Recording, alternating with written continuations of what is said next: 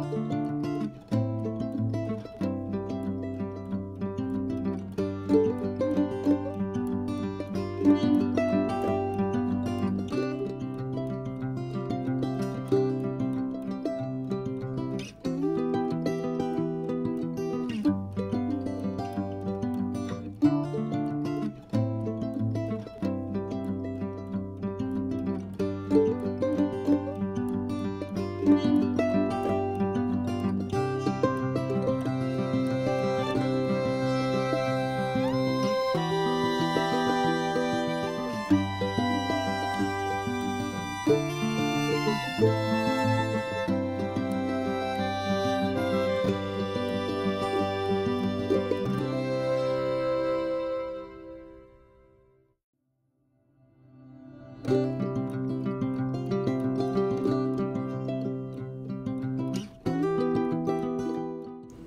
If you have any questions, all you have to do is leave it below in the comment section. And if you have not subscribed to this channel, go ahead and hit that subscribe button. I really appreciate it. Don't forget to hit that like. And if you want to follow me on Instagram, you can follow me at Cuttle Me Clay.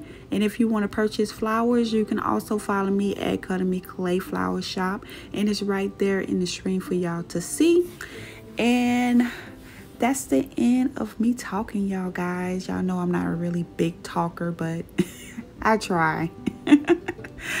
oh, yes. And before I go, y'all guys, I want to thank everybody who wished me a happy birthday. Thank y'all so much. I so appreciate it. And I will see y'all on my next video, y'all guys. Love y'all to the moon and back. Bye.